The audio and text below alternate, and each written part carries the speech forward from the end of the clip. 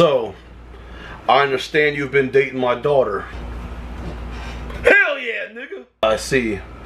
Well, I'm just letting you know that anything you do to my daughter, I'm gonna do to you. So you're gonna bend me over and fuck me? Wait, what? You said whatever I do to your daughter, you're gonna do to me. Do you know what I do to your daughter on a daily basis? Oh, I be all up in that ass like colon cancer. I be hitting it from the back and make the booty clap. Team Raw Dog, no pull out, teabagging, clapping cheeks. I be clapping your daughter's cakes. I be cream pieing this bitch. I don't pull out. I be making her my Twinkie. Shit, when I do pull out, I make her ass a toaster strudel. I be glazing that face like a cinnamon roll. I be balls deep, nigga, in your daughter's pussy. Balls deep, nigga, and I fuck her in the ass.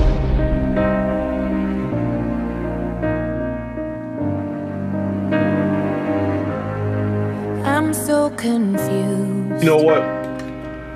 Just get the fuck out I my house. And she gave me that two hand twist. That gut gut gut monster combo I head. followed